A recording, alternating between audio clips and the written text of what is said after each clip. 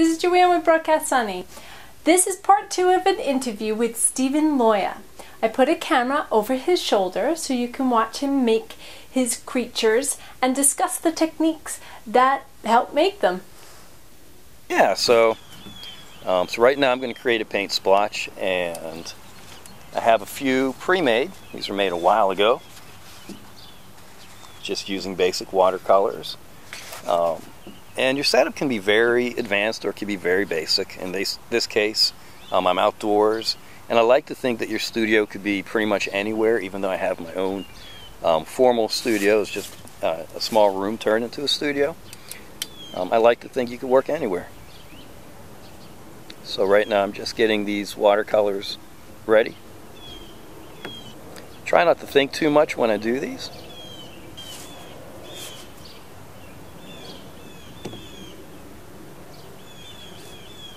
A lot of people think you make these kind of in the style of Jackson Pollock where you just kind of throw paint and splatter it around but um, and I guess that is one approach that you can take but mine is a little more careful.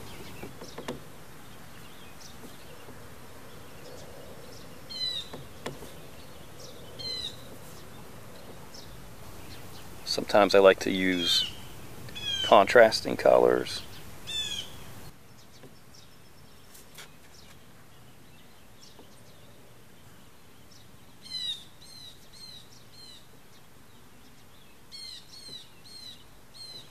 And then what I'll sometimes, I'll just kind of let the colors shift around and just kind of mix.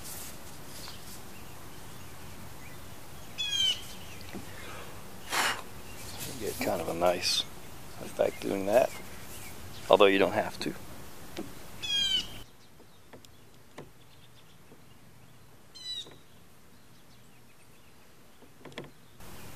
And if you want some nice texture, get some salt. Any type of salt works.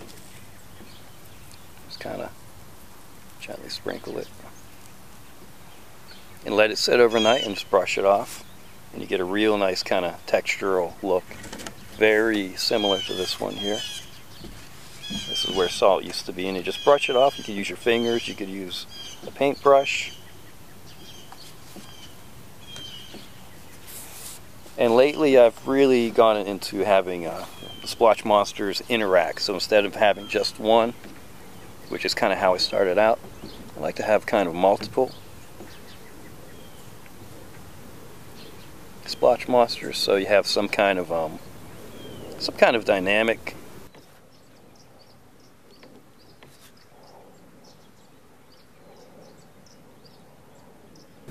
and really anyone can do this I'm not the originator of these they've been called different things and I've seen people take different approaches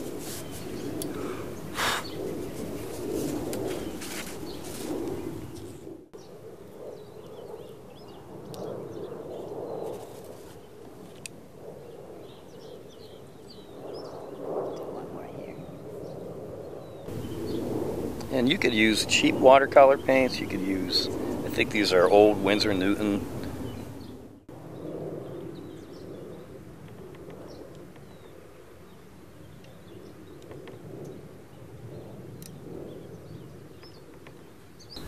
But I try not to think too much when I do these.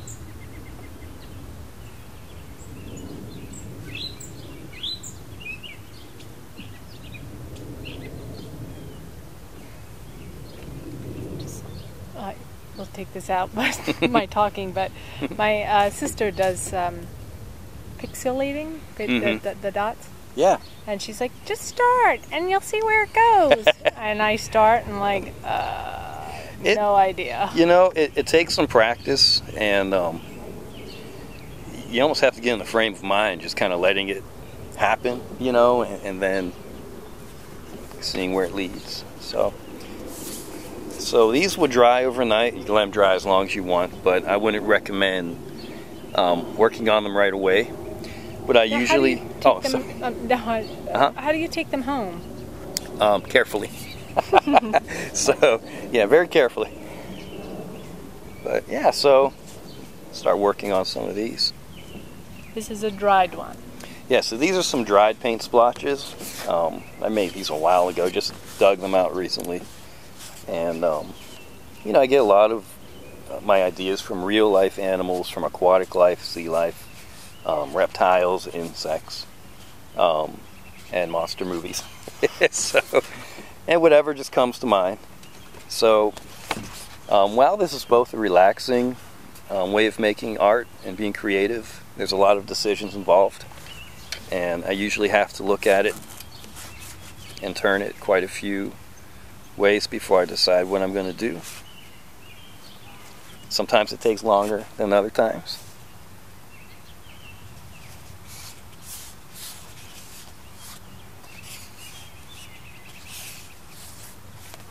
And being a teacher is interesting because I'll get a lot of input from students as far as what to do. And I find that's very helpful and kind of refreshing um, to hear what um, kids have to say.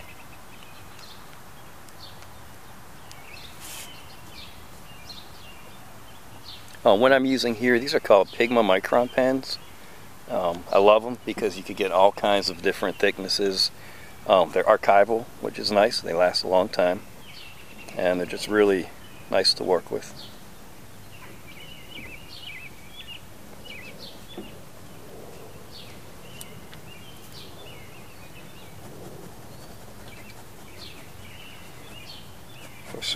For some reason, I see a beak or a bird-like creature. And maybe it's because I hear birds behind me right now. but that's what I'm going with.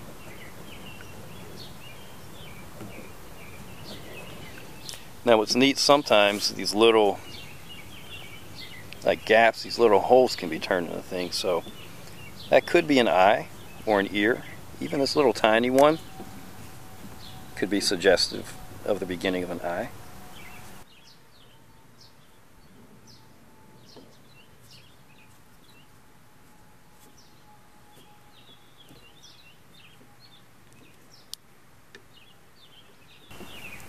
Like to add a lot of things like sp spots and stripes. And if you look at the natural world, you see all kinds of patterns in animals and wildlife especially a lot of tropical animals.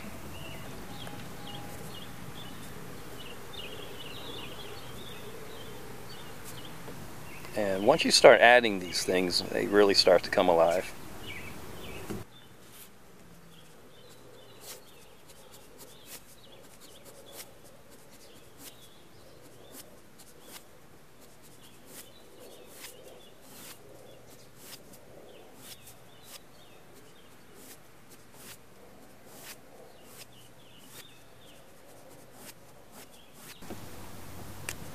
Give this guy a little tongue too.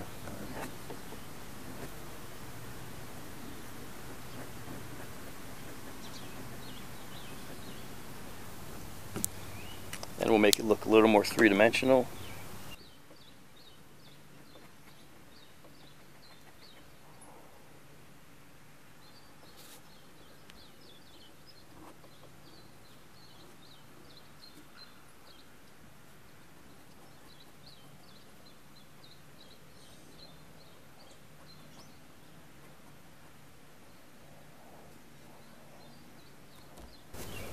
And I find it's important to add these little details like wrinkles and folds. A lot of times I'll look to see where an angle is and just from there create lines to make these wrinkles and folds.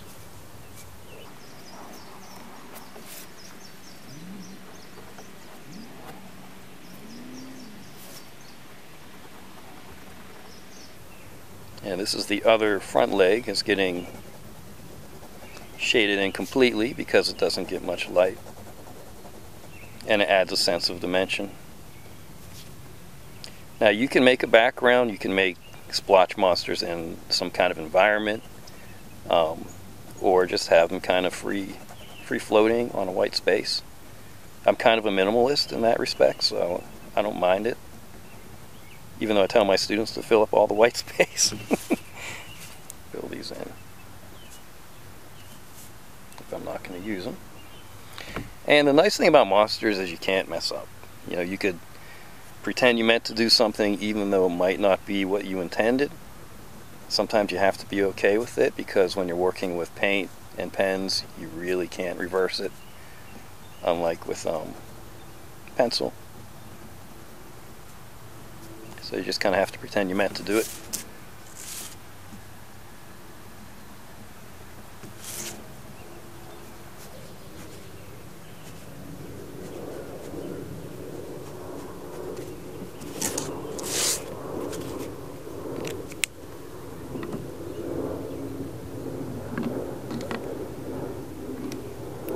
Nice one. Very, get some very fine lines with a 005 micron.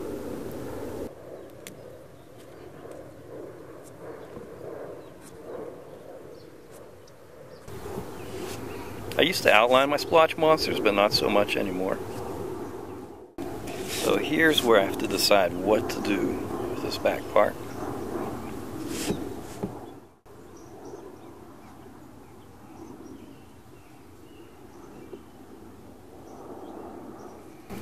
So it might be something that walks on its hind legs but is kneeling, almost like a human. Maybe it's hiding.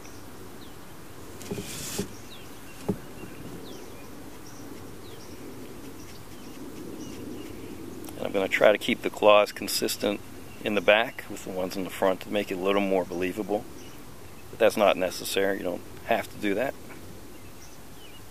Actually looks like he's flying.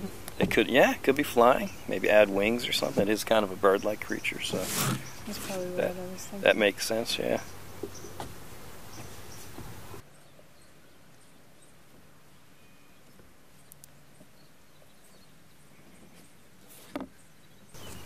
Or even leaping. Mm. But yeah, I do like the flying idea.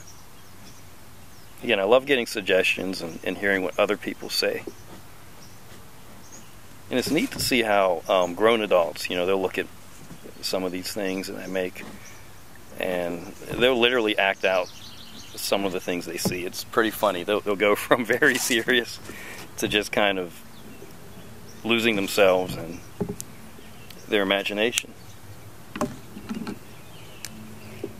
Did you ever think of getting a booth in like Awesome Con or? Um, I haven't tried for Awesome Con yet. It's just it looks a little crazy for my liking, but um, you know I've had I've done quite a few um, First Fridays, and um, i will be doing some craft fairs coming up at Artist or not Artisphere, but um, Art Enables in Washington D.C. Um, and I've done some things at Artisphere in Arlington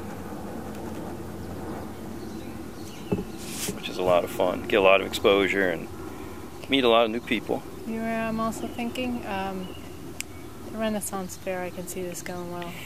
yeah. So, yeah, it's amazing how it could just kind of, um, all the different demographics, you know, and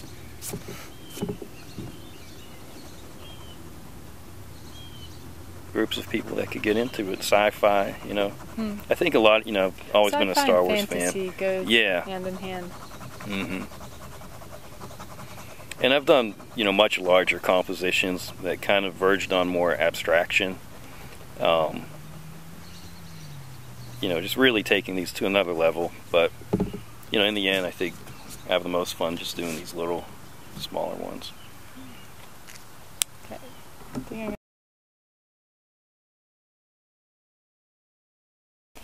If you would like to see part one of the interview with Stephen Loya, check it out.